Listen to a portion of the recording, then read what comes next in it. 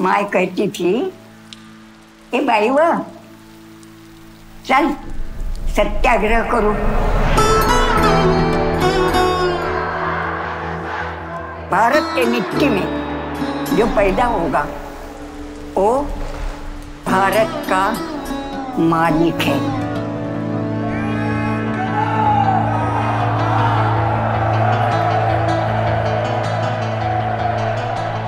मैं जब चौदह साल का था, तब पहली बार जेल गया।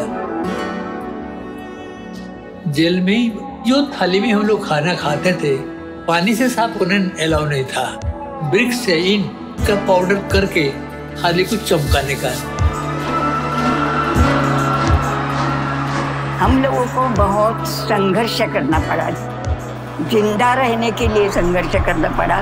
लोगों के सामने खड़ा रहने के लिए संघर्ष करना पड़ा।